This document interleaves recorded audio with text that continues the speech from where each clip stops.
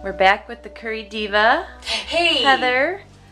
Curry Diva's on, right? Curry Diva's on. I better start. I better start. So do you know what we're gonna do today? What are we doing today? The kale and red chard salad.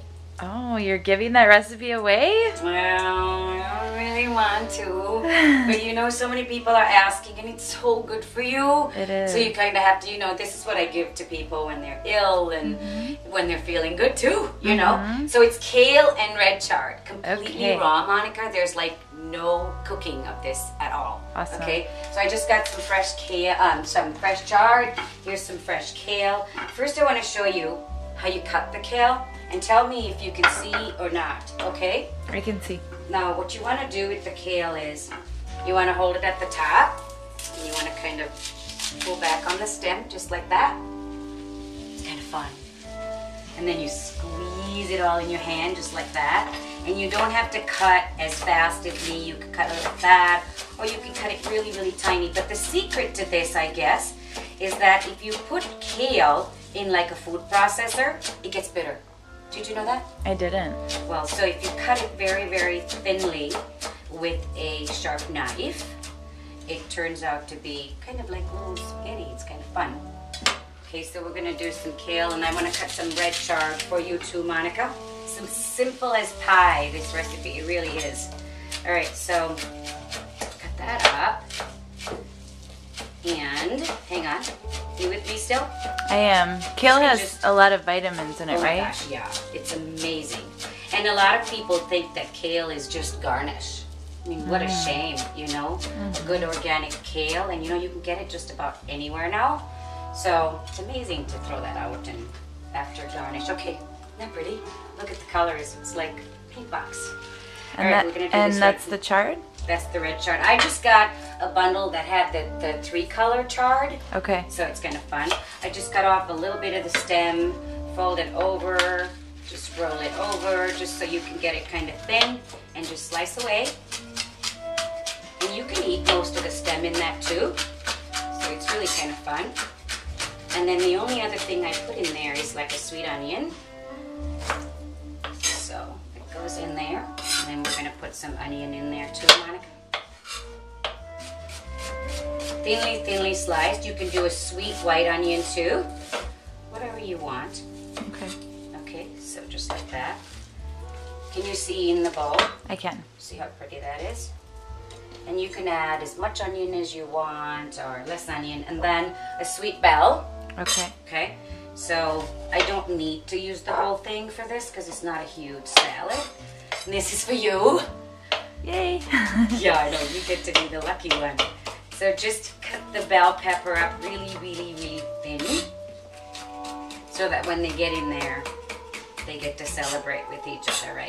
Mm-hmm. And the spices. There's nothing like celebrating. Life's a celebration. Okay, here you go.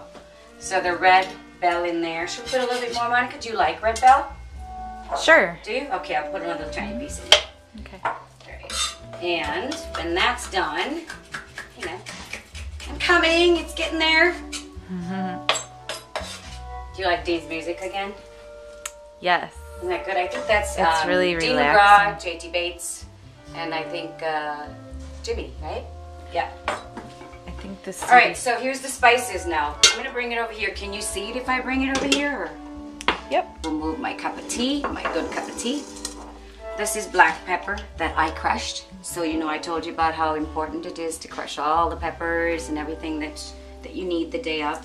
So lots of good black pepper and a little bit of sea salt. Oop, I'll get it. You can put as much sea salt as you want. I love my salt. I'm a salt freak. and then olive oil. I usually judge again by how much I'm making, you know. That's just how it goes. Now I want to tell you what this is. Do you know what these are, right? Uh, what are those? These are toasted uh, pumpkin seeds. Oh, pumpkin Salted, seeds. toasted pumpkin seeds. So you can imagine how good this salad is for you. Those you know are really good are? for you too.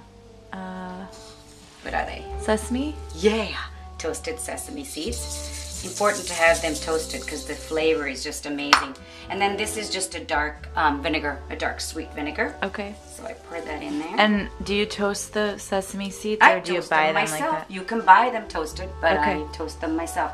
Now, I'm gonna give this a good mix, and I am gonna put on a glove, just so I'm all on the up and up with everything. Okay, so a good mix. Looks really good. Doesn't it look good though? So now bright. you can have this. Now, if you want to do this right before your dinner function or whatever, do it an hour or so before. But you don't need to chill it too much, Monica. It really should be more room temperature. Okay. than anything else. And it's done. Wow, that was fast. Yeah, it was really good, wasn't it? Okay, now let me see. I'll serve it, serve it up for you. We'll put it in here and make it look all pretty. Here. Now, doesn't that look good? Let me get a close up. Of Yum! Wow. Yumminess! That Isn't it looks good? awesome. It Okay. smells really good too. I Yeah, can smell so the you get to take that with you. Well, we'll share. Okay. We'll share. Thank you. Okay. You're All right. welcome. And Curry Diva is out. All right.